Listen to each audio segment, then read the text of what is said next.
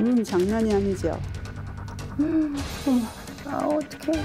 열감도 느껴지고 간지럽고 흔히 사막의 그 땅에 쩍쩍 갈라지는 그런 느낌을 막 긁다가 뭐 이렇게 피가 나고 이런 경우도 있어요.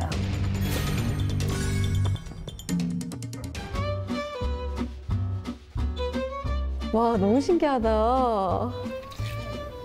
소의 젖을 짜보긴 또 처음이네요.